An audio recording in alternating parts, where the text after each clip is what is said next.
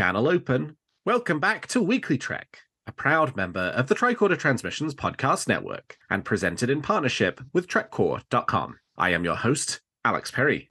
What's today's date? The date.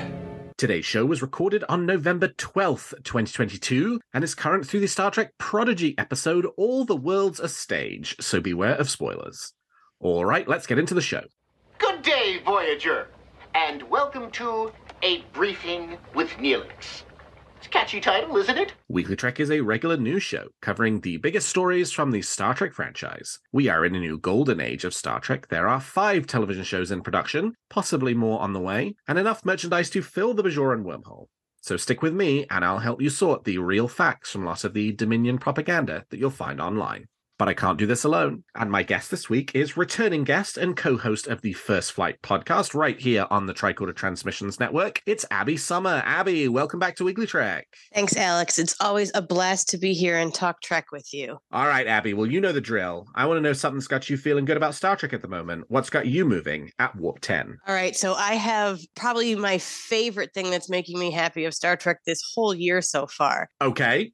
yeah. And it, it's a very personal one, but it's given me a bright light in a, uh, a very busy and dark time around here. So I have two young girls. And we watch Prodigy together, and Yep. they love it, and they are into it. But my youngest one is the one who I'm pretty sure is going to end up watching every episode with me and obsessing. Like we just have that that vibe. So we're watching the latest episode of Prodigy, sitting on my couch on Thursday night, and as soon as it finishes, she goes, "Mama, stay right there." Runs into the other room, pulls out an issue of Star Trek Explorer magazine that I have on the shelf Yep. that has a feature of of Prodigy in it, flips through and goes, Here's my crew. And then she keeps flipping and she goes, Hold on, hold on, hold on. Gets to an article about Kate Mulgrew, sees an actual photo of Kate Mulgrew and goes, Yeah, there's real Janeway. And then flips one more page and then goes, And there's my Janeway. I I teared up, like my heart was full. She looked at me and she just smiled this beaming smile. And that was so perfect as a Star Trek fan, as a mom. Like, this is what Prodigy was aiming to do. And it happened in front of me with no prodding. And she has not put that magazine down, she slept with it. The other night. She's into it. So, this has been such a powerfully moving experience for me to get to share with my kids. And that is a perfect moment that whenever I'm feeling down will always make me happy. that is amazing. I No. love that. It just doesn't get better. Yeah, no, absolutely. Your indoctrination is working, Abby. Congratulations. well, if that's my indoctrination, then it good good. I hope. yeah, right, exactly. Yeah, yeah, yeah. There are way worse things to be indoctrinating your kids into. Oh, absolutely. All right, let me give you mine, uh, which is also just kind of a personal one this week as well, because we've been off the last couple of weeks because there's not been a ton of news. It's been kind of a quiet period. But for anybody who follows me on Twitter, you will know that I have been, well, for, for, as long as Twitter remains with us, I have been uh, in the middle of my latest rewatch of the Star Trek franchise. Yes. I did the last big one I did was for the 50th anniversary. And so the 55th anniversary was last year, last summer. And I said, I'm going to do it again. And so I started in August of last year with Enterprise and have run now all the way through the conclusion of Star Trek Nemesis. And in previous years, that's where it would have ended, right? I'm doing Mhm. it in sort of chronological order, beginning with the earlier show, Enterprise. When I did it in 2016, I did it in production order. So I began with TOS and ran all the way through. Then Enterprise was the end. But this year, I decided I was going to do it in franchise chronological order. So started with Enterprise, and I've done this before a few times. And then the the end point is Nemesis, right? That's the that's the kind of last chronological movie slash TV show. It happens after Endgame, and then there's nothing that comes after. And that had been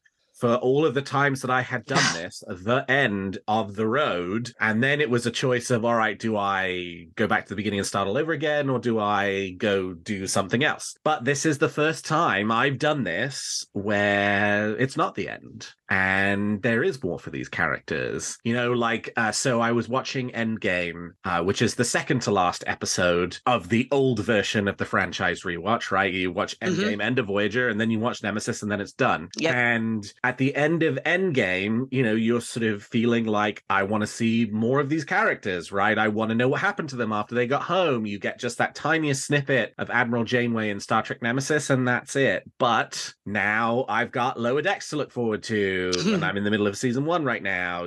I've got Prodigy then coming up, where I get a bunch more Janeway. I've got Picard then coming up, where I've got Seven of Nine, and then rounded out with the far future Star Trek Discovery seasons three and four. So this is the first time I've kind of gotten to Star Trek Nemesis, and it has not been sort of a, a soft landing with a bad movie ending off a terrific kind of franchise run. It's sort of the these are the voyages of the Star Trek franchise chronological rewatch. And it's it's nice. It's great, right? Like I got to the end of Deep Space Nine and I was like, oh well, I actually have, you know, I get to see more Kira and Quark coming Yeah. up in a couple of seasons when I get back there with Lower Decks. I get to the end of Voyager and I get to see Janeway and I get to see Seven of Nine and I get to see Chakotay again. Uh, I get to see more of the TNG characters, right? I get more Yeah. Riker and Troi in Lower Decks, and then I get them again in Picard, and I get more data in Picard and Q in Picard. So there's obviously this additional kind of rich depth to watching your way through the franchise that exists today that was not present in 2016. And it's just, it's really nice. And it's nice that there's more, and it's nice there's more Star Trek coming. And I sort of am going to have this interesting point where I think I'm going to hit Star Trek Prodigy season 1B in my rewatch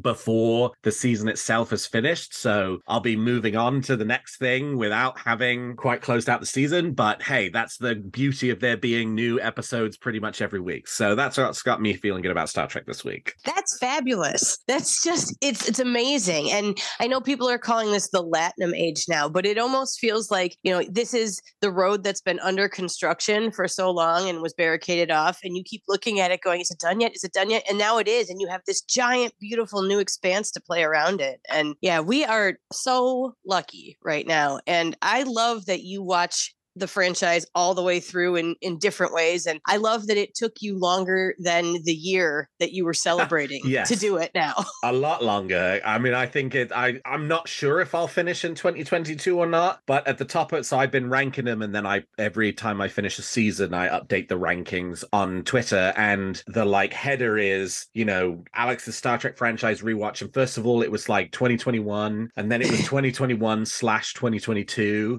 And now I'm wondering, will it be 2021 dash 2023 before I finally finish it out? And it's not like I have, you know, like I, I have kind of paused for watching a few other things. I watched all of the Marvel Netflix shows. I watched The Good Place for the first time, and I so I, I did kind of have a few pauses along the way. But I definitely have been, you know, I have been mainlining Star Trek now for about 18 months, and which is a terrific thing. You know, I don't wish to imply otherwise, but it still took me a year and a half to do it. yeah and I think it's it's funny that you mentioned you paused in there because you know what we get to have lives and other interests too. But how cool that your your main dose for so long has been different episodes of something you love. yeah, it's been a really nice accompaniment for the last year and a half. And I'm actually going to be sad when it's over. I, I hesitate to go back and start all over again because it was an 18 month commitment. But it's like, but in some ways, I just, I want to just go back and start all over again because it's just, you know, mm-hmm. it's, it's fun and I enjoy it. Yeah, absolutely. Maybe do it a different way this time. Yeah, right. All right. Well, with that, let's turn to the week's top stories. There's a war going on, and I'm a reporter.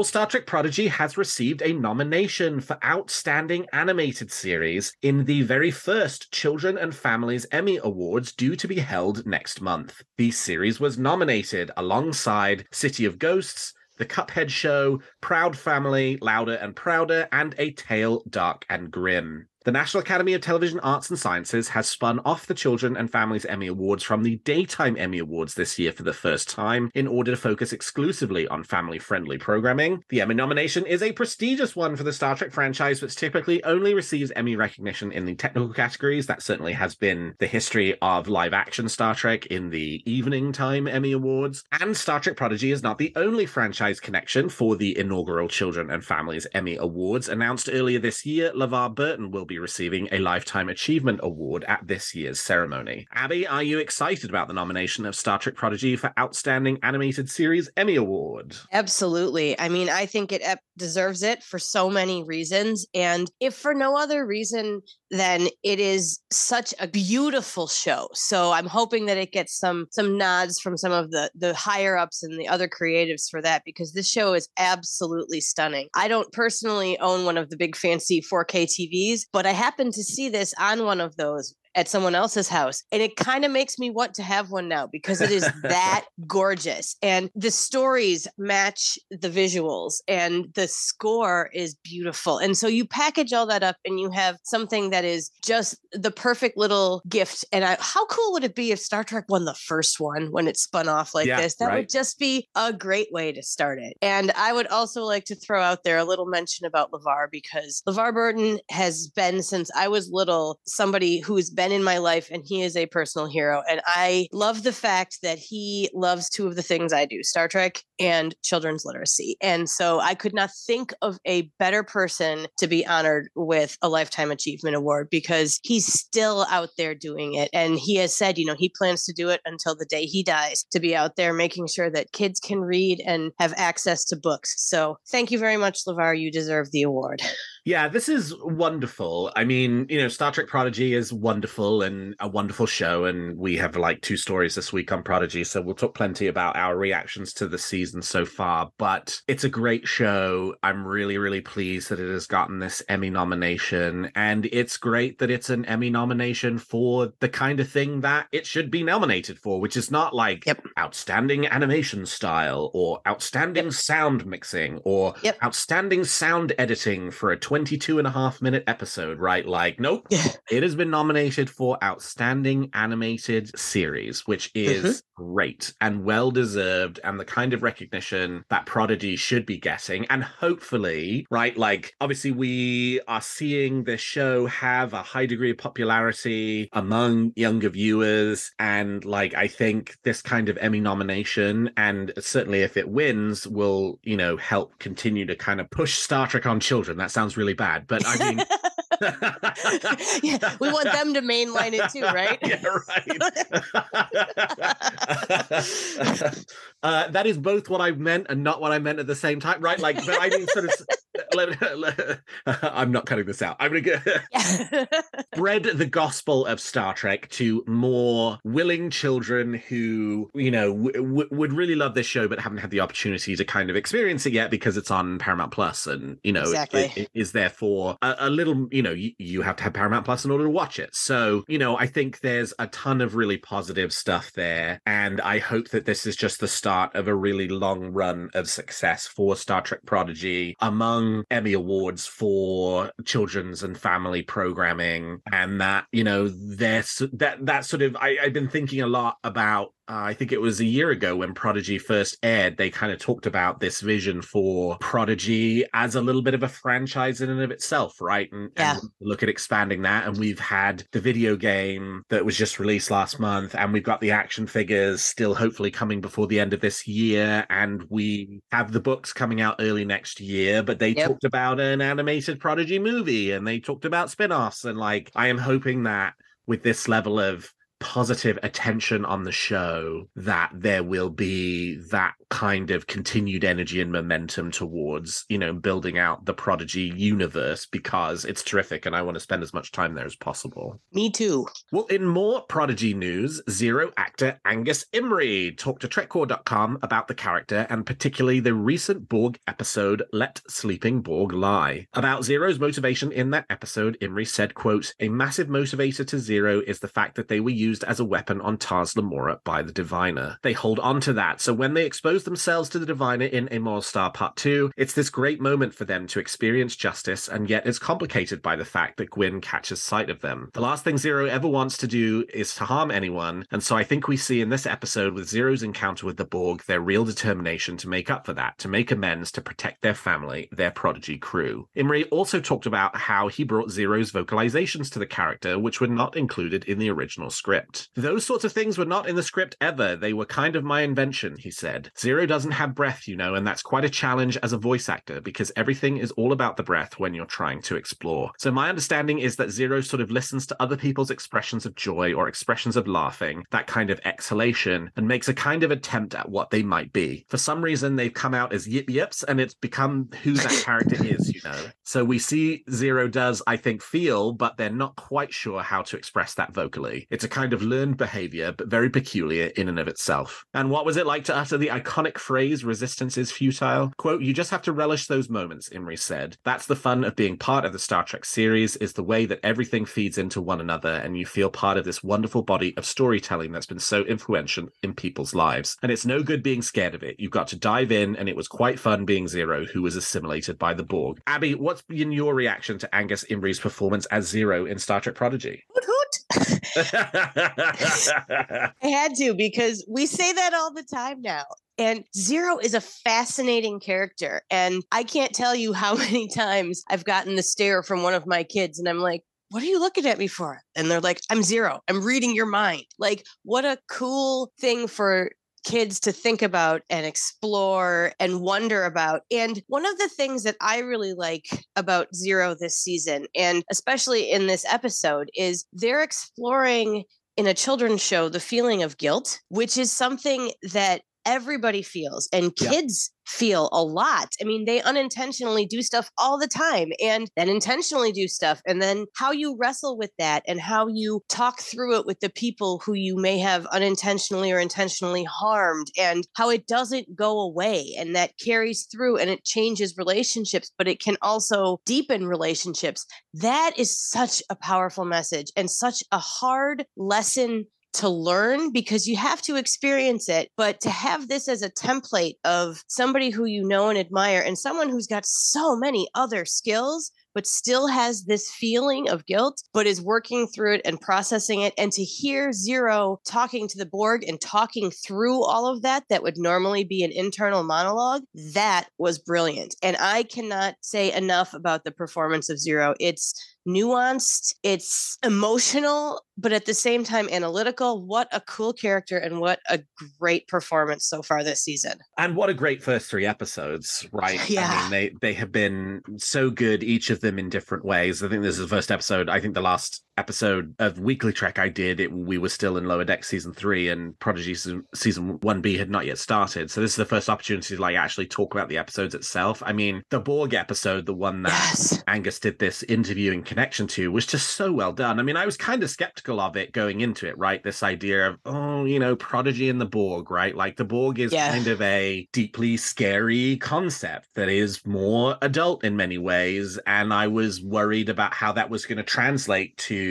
a younger audience and how they would kind of translate that to a younger audience and yet have it feel like the Borg, but not kind of, you know, sort of round off too many of the sharp edges. And at the same time, you know, given that the Borg themselves have such kind of a deep and rich history in the Star Trek franchise, you know, how are you going to do that around introducing younger viewers to this this race that in 22 minutes behind which Yeah. there is, you know, all of this backstory and all of this baggage and they succeeded handily. Yeah. It's a great episode. It's probably one of my favorite episodes of Prodigy to date. And it is scary in the right way. It's thoughtful in the right way. It builds on the existing canon of the Star Trek franchise in a way that resonates with like fans like you and me. Mm-hmm. and it allows for a continuation of these character arcs and journeys like that journey of zero from season 1a into season 1b from the events of the of the mid-season premiere into now you know these episodes. It's just so good. And then oh, you know also dwell for a second on this week's episode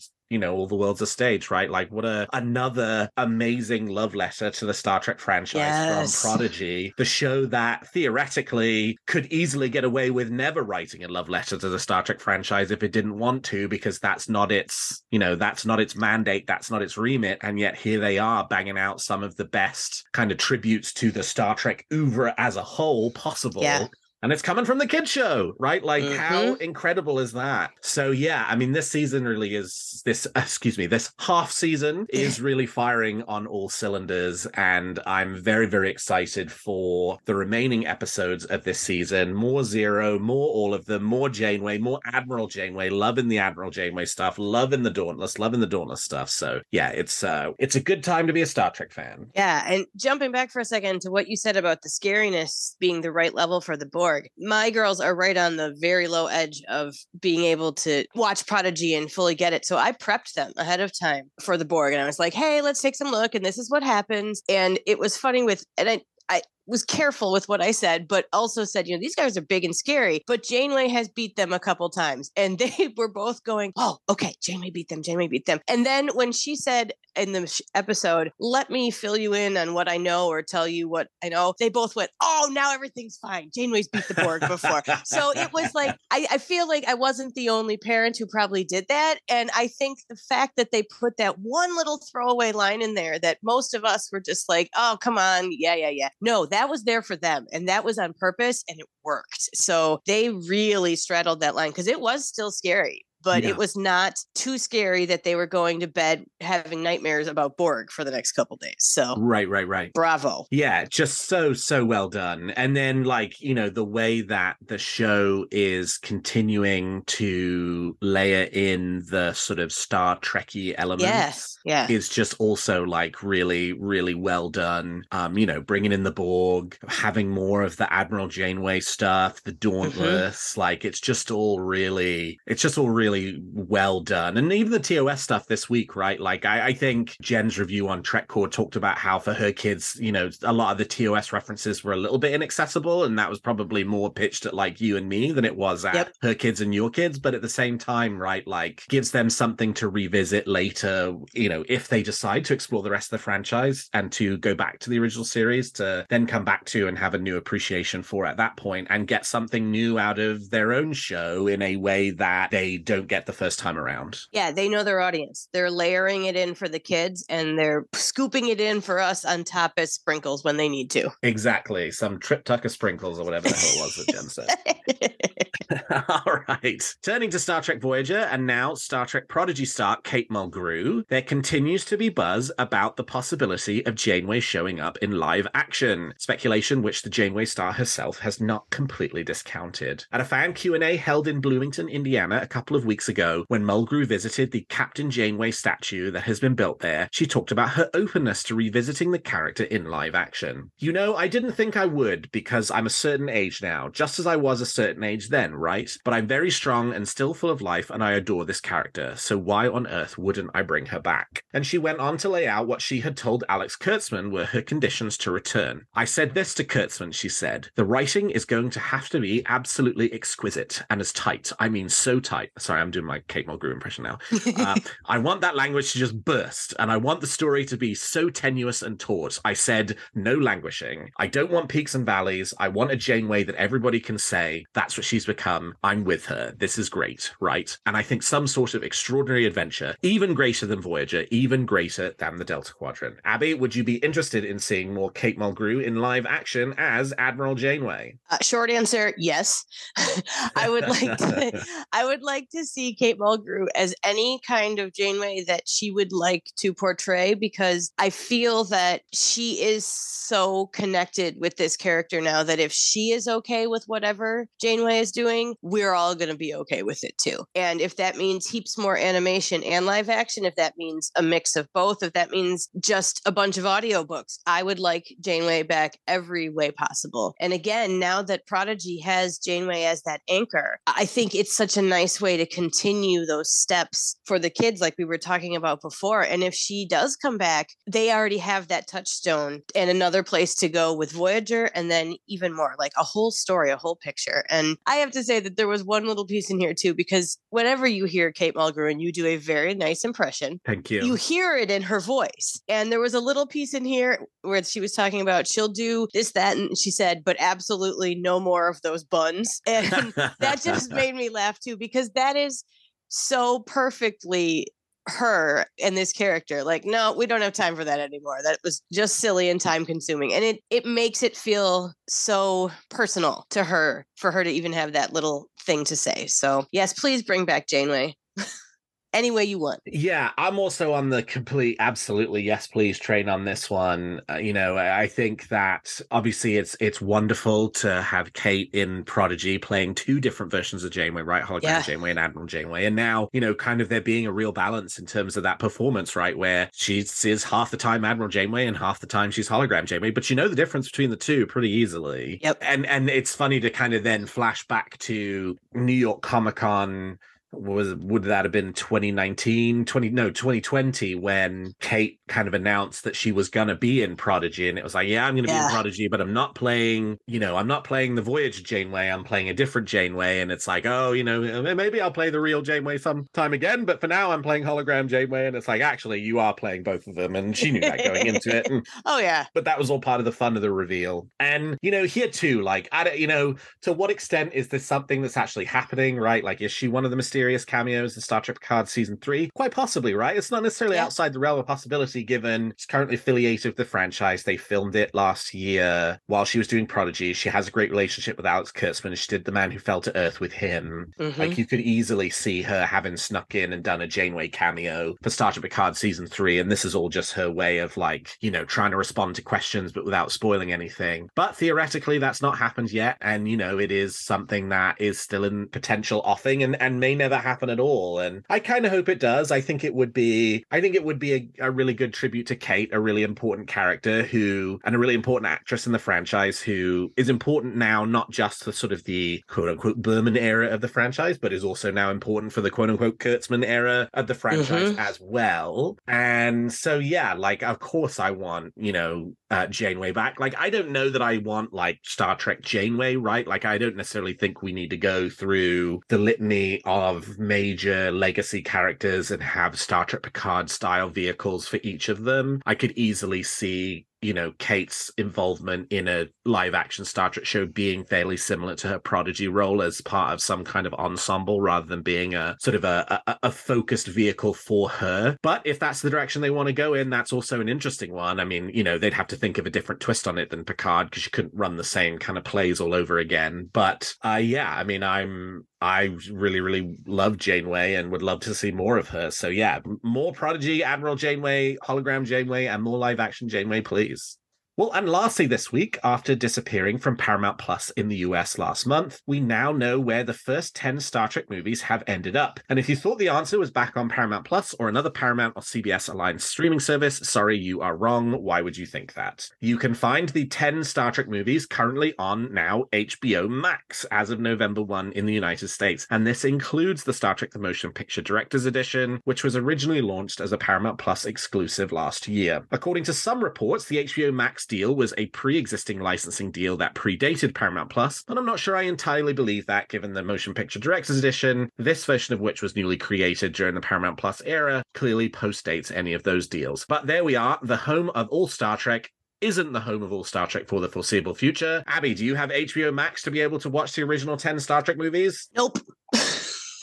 um, that's the answer there. And this is where, like, if I was writing something about this, I would be inserting that face palm Picard gif where it's just like, come on. I understand previous deals. I don't want to take anybody's rights or residuals or any of that away. But this, it's past silly into absurd at this point. And it's like hopscotch. And no, I that's one of the streaming services I don't have, and I don't have anybody's password to share. And it's a good thing that I still have DVDs because at least they're consistent. they might not be the most beautiful, but they're consistent. So, what a bummer because you know what? I watch Generations every Christmas because it's a Christmas movie. It's got a big old Christmas scene in it. So, uh, I hope that I can pull out my DVD player and it still works so I can watch that one. Come on This is silly, guys. Yeah, I mean, I I talked about this a lot, so I'm not going to belabor the point. Folks know that I think that this is ridiculous, and they just need to fix it and figure it out, or at least, you know, maybe climb down the, you know, yes, the framing for the home of all Star Trek thing is every series and every episode, and not every movie, but like you did a bunch of cut-togethers where you were like, we're the home of all Star Trek. So like, I Mhm. also the Trek movie article that the show notes will link to is pretty defensive of Paramount, and I think that's way too much of a suck-up maneuver to the to the studio on this one. Like, I think it's okay to just say this sucks and it's stupid, especially after you said you're the home of all Star Trek, right? Like, I don't think it's inappropriate to call out a major multinational entertainment conglomerate for making a dumb decision and kind of selling a false bill of goods to Star Trek fans. But that's all I'm going to say about it at this point. If you want the 10 Star Trek movies, they're over on HBO Max. Hopefully, they're not there for too long. Hopefully, eventually, they will come back to Paramount Plus. Hopefully, this is a consequence of, of legacy deals that Paramount Plus was locked into and couldn't get themselves out of, and that their long term plans is at whatever point those deals expire, the 10 Star Trek movies will be back on Paramount Plus, and that is where they will stay forever. yeah, let's just find a place and stay and make it Paramount Plus. Right. Logical here, people. Yep. All right. Well, we've talked about the facts, and now let's speculate on what's going to happen in the future of Star Trek. You make some very good points, Captain. But it's still all speculation and theory.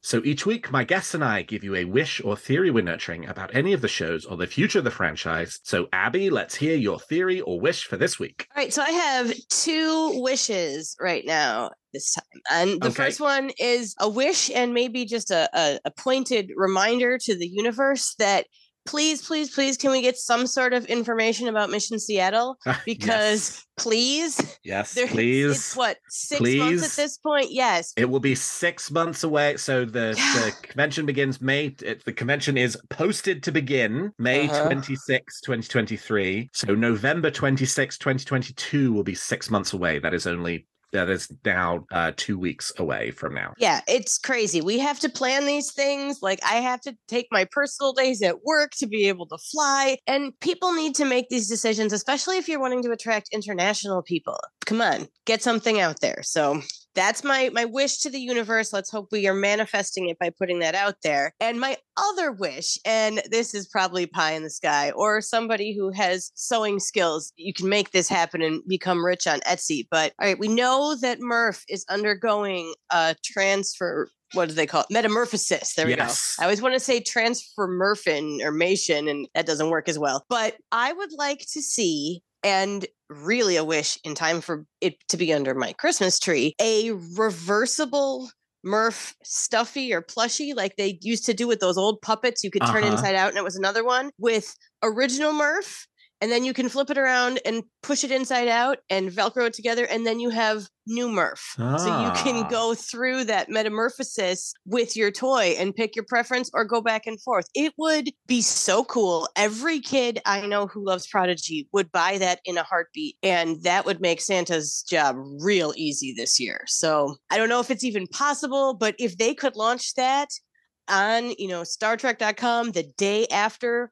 Murph transforms, they'd sell out. Hmm, I suppose it depends what Murph transforms into. I suppose it does, but uh, I, I think that I think that it might be a possibility, and I think that it's it's just a gold mine waiting to happen. Well, yes. Uh, did you manage to get your hands on the New York Comic Con exclusive Murph? I did not, despite some behind the scenes efforts. I did not, but I want one. There are some on eBay. They the people started off listing them for like nutty prices, but but uh, actually not a ton of them have moved, so the price have come Hmm. down a little bit. I would recommend looking there. Okay. Uh, like I saw one posted for less than twenty bucks. Oh, good. I'm on the first wish for Mission Seattle. Thank you for being the one to raise it because I couldn't do it again because I did it like three weeks ago. But yes, come on, ReedPop, come on, Paramount. Tell us what's going on with Star Trek Mission Seattle. It's now six months and two weeks away, and the website has not changed a jot from the last day of Star Trek Mission Chicago, where they changed the homepage to say Mission Seattle and put the dates up. But everything else about the website still says Mission Chicago. The Star Trek uh, mission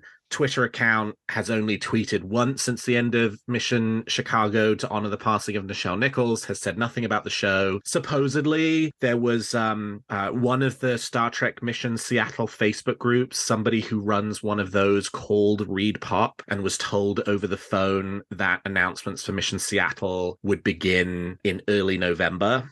Well, it's now mid November and we still don't have them. So, I mean, who knows if that was actually someone who was in the know or if they were trying to just shuffle a concerned citizen off the phone as quickly as possible. But like, it's got to happen now, right? Yeah. Like, we're six months away. The point about international is well taken, right? Like, you want to be booking your flights internationally six months out, and Seattle's not a cheap place to fly to at the moment, right? Nowhere's a cheap place to fly to at the moment, but getting to the West Coast for folks on the Yeah. East Coast is very expensive. Obviously, less expensive if you're on the West Coast, but And it's a holiday weekend. and it's, a holiday weekend. Holiday It's Memorial Day weekend. weekend, yes. So, like, please give us the opportunity to give us your money, and the way to do that is to let us give you our money. We are begging to give you our money. exactly. Please put tickets on sale. Please make hotels available. Because the other problem is, right, like I'm normally a pretty kind of, you know, positive, optimistic person who is like, oh, well, there's a reason for everything. And of course they wouldn't they wouldn't do their first major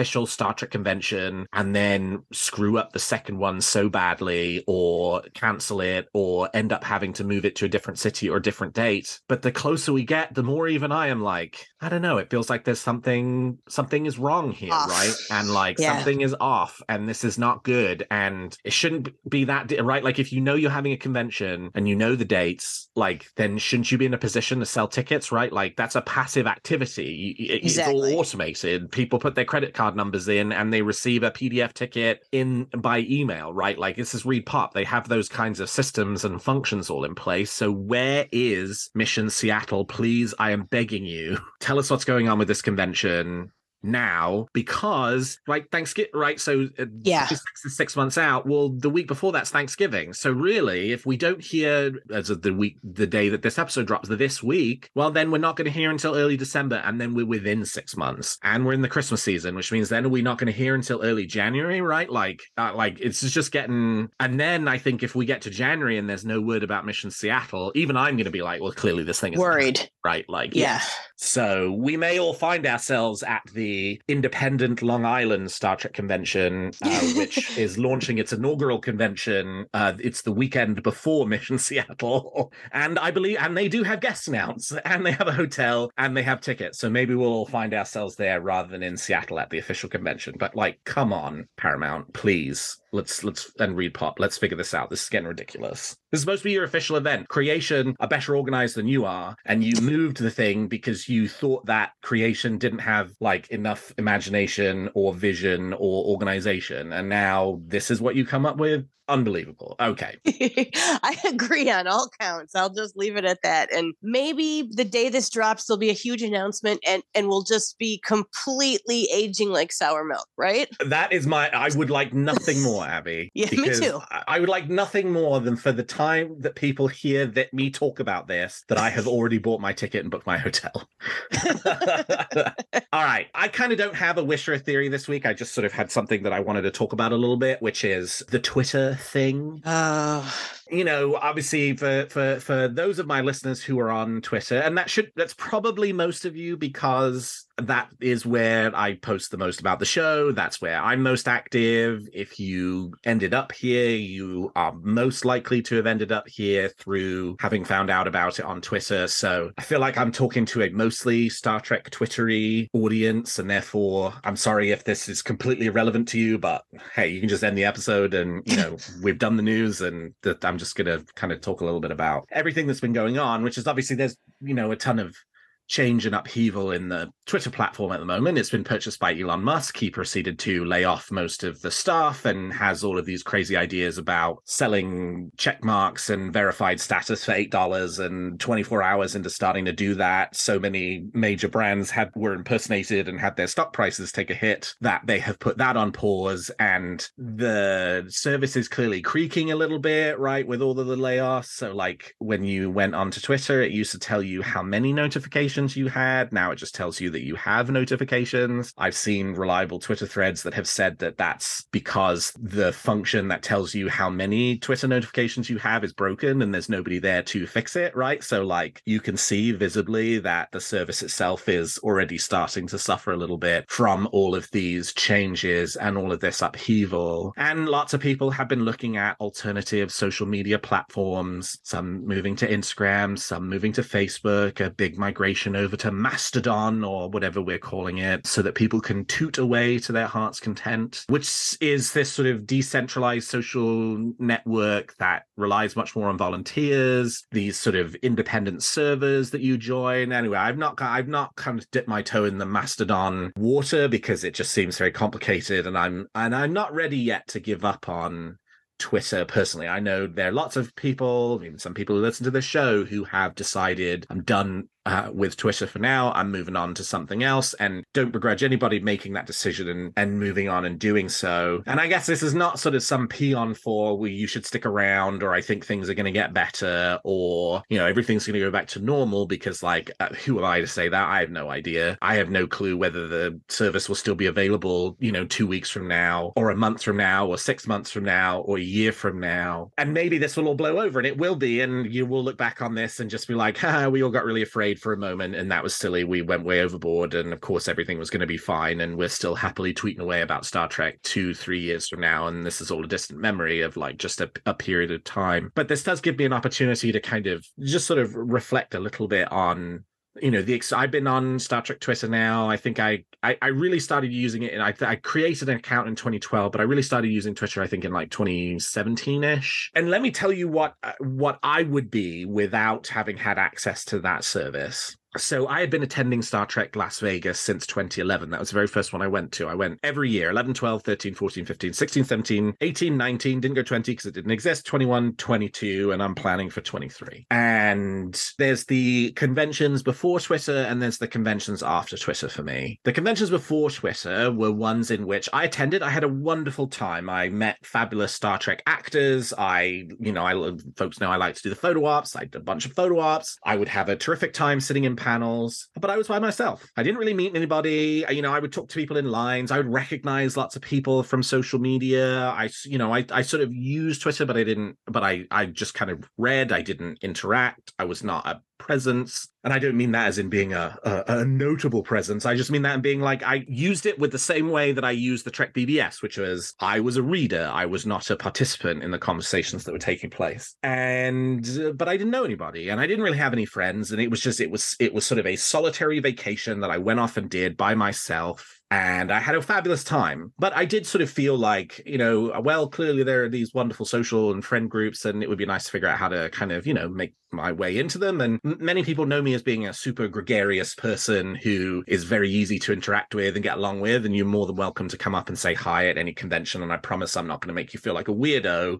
But that does not automatically come naturally to me. And it's something that I've had to work on quite a bit. And having that kind of community on Twitter where I have met you know many of my frankly best friends and people who are extremely extremely important to me has been really important for me over the last few years for all kinds of things for my ability to deepen my the fun that i have at conventions for me to deepen my appreciation that i have for this show for me to feel more like the person that i want to be in terms of having a group of friends who are passionate about the things that i'm really passionate about and being able to kind of you know talk about that and communicate about that for me to do this show. I wouldn't be doing this show if, if it wasn't for the existence of Star Trek Twitter. I never would have thought to have done something like this. And now I'm coming up on having done it for, have I done it for three or four years? See, I've been doing it so long, I don't even remember at this point. I know I'm coming up, I'm closing in on, uh, we're closing in officially on 200 episodes for Weekly Trek, including the kind of original cruise version. Uh, and I'm not too far away from having done 200 episodes myself of this show. And none of that would have been possible without this little community that we put together. And it's very sad that there is all of this upheaval and that people have decided to depart, and that even if this service still exists a year, two years, five years from now, that this has happened right now because we were in a good place. I mean, yes, the community's had its issues and its problems and its problem characters and issues with misogyny and racism and all kinds of different problems that, you know,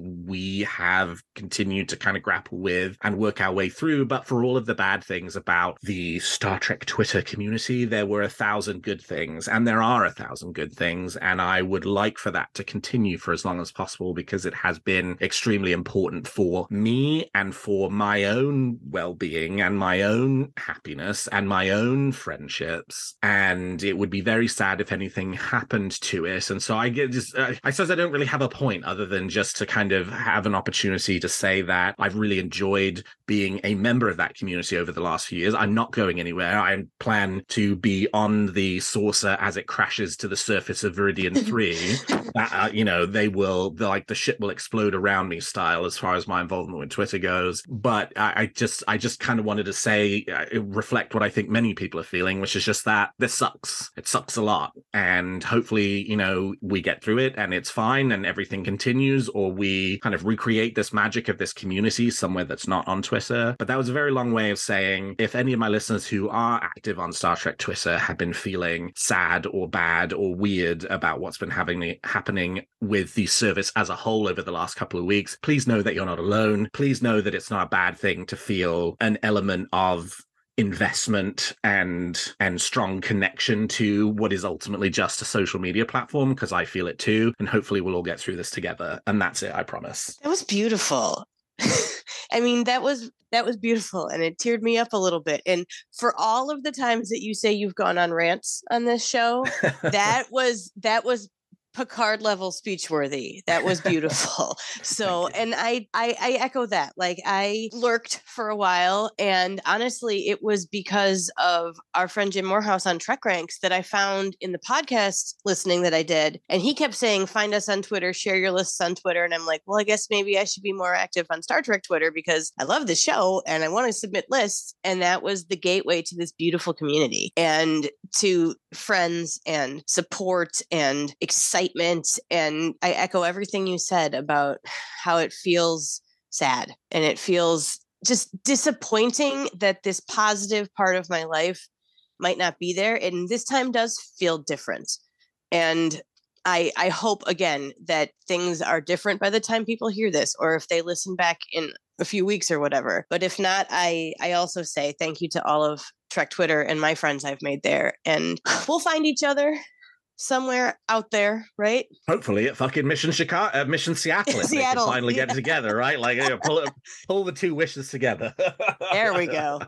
Do you have a theory or a wish for Discovery, Picard, Strange New Worlds, Lower Decks, or Prodigy that you'd like to share? Tweet them to me at Weekly Trek or email them to me at weeklytrek at the tricordertransmissions.com and I might feature your theory in a future episode. Well, that's all the time we've got for this episode of Weekly Trek. Thank you so much to my guest, Abby Sommer, for joining me today. Abby, how can people contact you if they want to continue the conversation? Well, I hesitate to say this after all we just said about Twitter, but the best place to find me right now is at Abby M. Sommer. That's S O M M E R on Twitter. I have not yet migrated either, but we'll see. But I also am on the First Flight podcast that is coming back for season two later this month. We are very excited about that. And you can find the pod at First Flight Pod on Twitter, Instagram, Facebook, all the major platforms. So even if Twitter implodes, you can find the pod and find me through there. And very exciting. I saw your little tweet yesterday that says season two is coming. Yeah, big things. So look for some good announcements coming out very soon. And you can find this show on Twitter at Weekly Trek and me at Alexander T. Perry for now. And if you enjoy the show, please consider leaving us a five star review on your podcast player of choice. And please check out some of the other great shows on the Tricorder Transmissions. And if you like our shows, please also consider becoming a Patreon of Tricorder, which you can find at patreon.com slash the Tricorder Transmissions. And lastly, if you're looking for Star Trek news on the internet, I hope you will turn to trekcore.com. Well, thank you, Abby. Thank you to all of my listeners. And until next week, live long and prosper.